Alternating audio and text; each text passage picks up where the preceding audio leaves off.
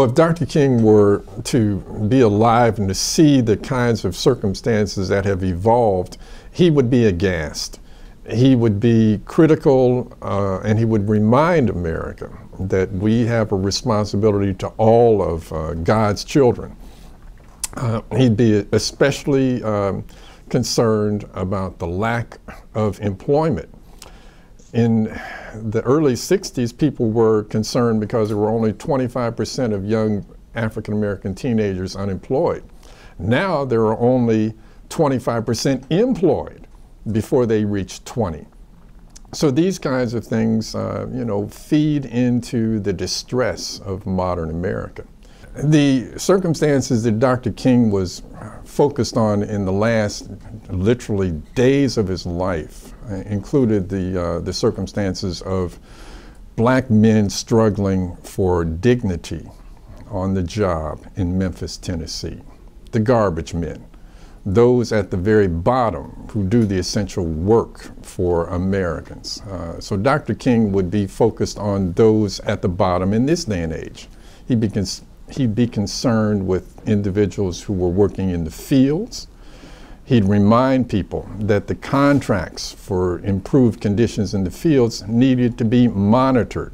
Sometimes they're just dismissed as being nice and, uh, and idealistic, but not practical.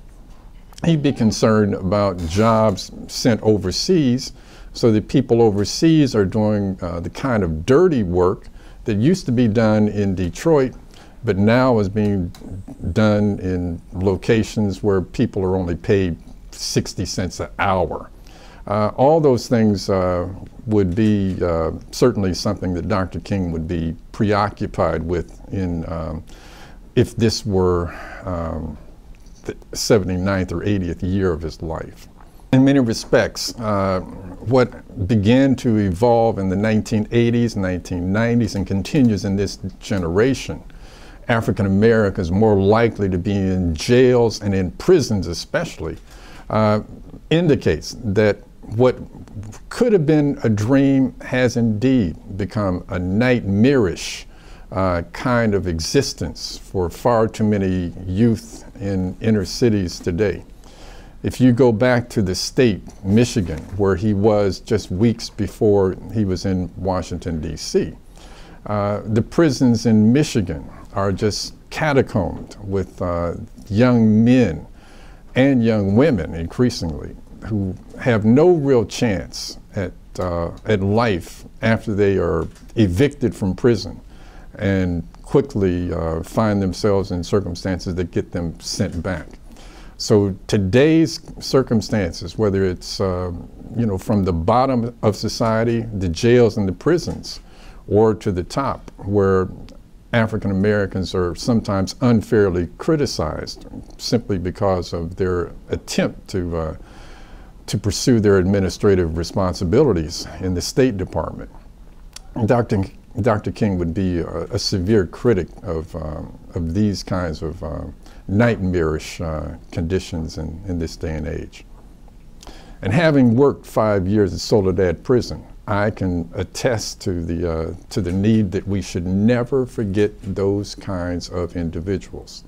90% of them will be back with us walking these streets. And if we simply do nothing to help them improve while they're in jail and prison, we're all going to pay the price.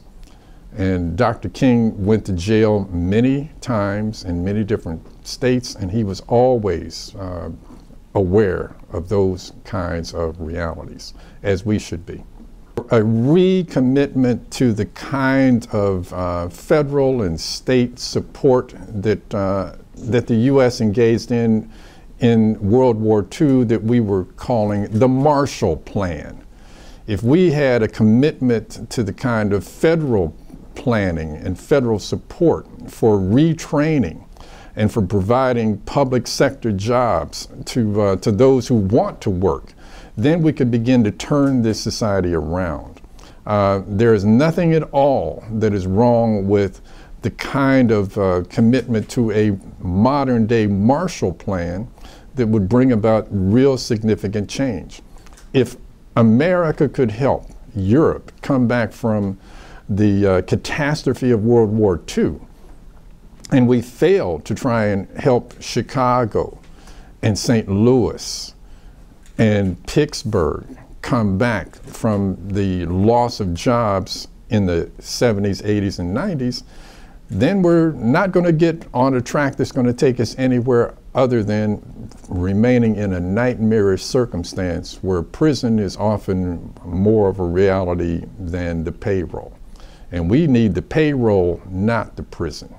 Well, black on black violence is often connected with low self esteem, but most of the prisoners are involved uh, for small drug offenses.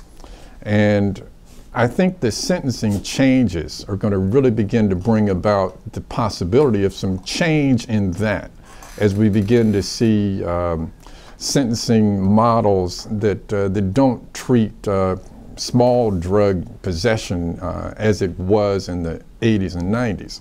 But that means that we're going to have other challenges. As people come out of um, incarceration, if they don't have training opportunities, and if they don't have the opportunity for public sector supported jobs, then we're going to just have the same kind of issues that have plagued um, us for the last 30 years. Uh, and I'm concerned about that. And we need to have more focus on retraining those who really want to turn their lives around when they get out of those uh, decrepit circumstances. And increasingly, it's women. This is not just the home of the brave and the land of the free, but it's also the home of the female prisoner. We have more than a million people in jails and prisons. And we should always be aware of that. If, if Dr. King were around today, there's no doubt that Dr. King would be in the forefront of those who were supporting the rights and extending rights to people who happen to be gay.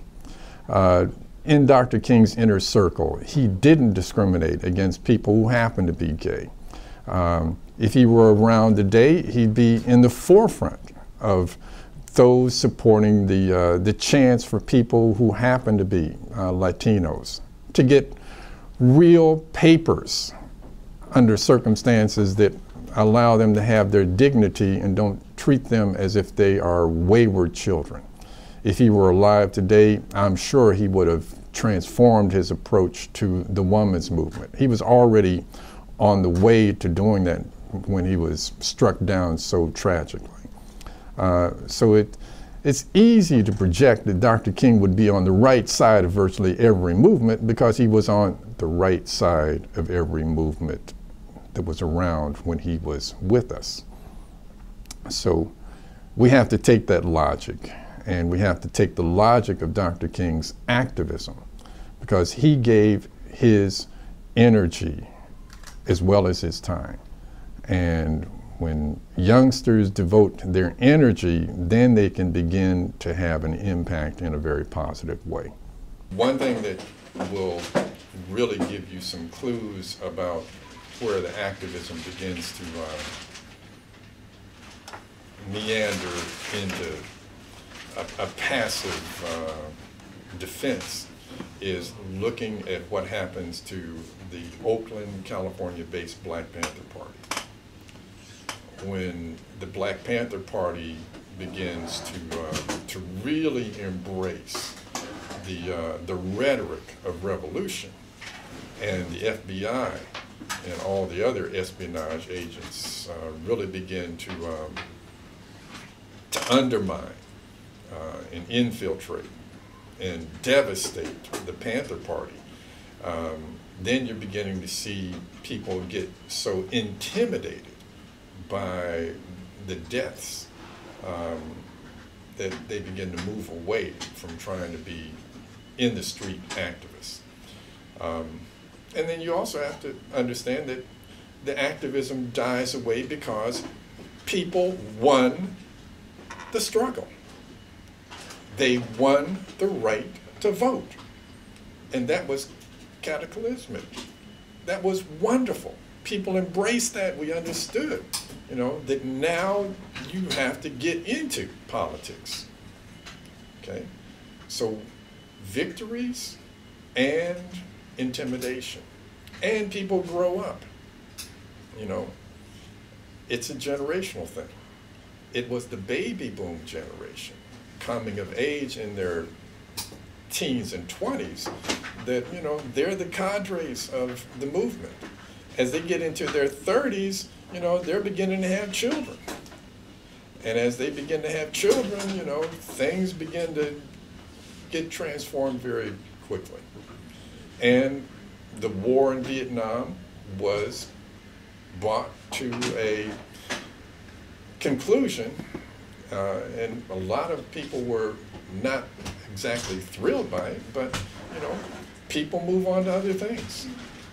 The women's movement, so needed, begins to you know dissipate energy away from the southern movement, and then there's a whole uh, reconfiguration of the American economy. Detroit lost a half million jobs. New York City loses hundreds of thousands of jobs. So people are, you know, they're transfixed on trying to find a way to make a living in an evolving economy. So all those things, uh, you know, and then you have uh, all the impact of the drug culture. And like I said, 63 was like the last, you know, weeks of American innocence. By the late 60s, the drug culture, if people tell you that, you know, that San Francisco in 1967 and 68 was the summer of love, I have to remind you, it was also the summer of speed and all the other drugs that were beginning to emerge. And they also just had a devastating impact on a lot of activists.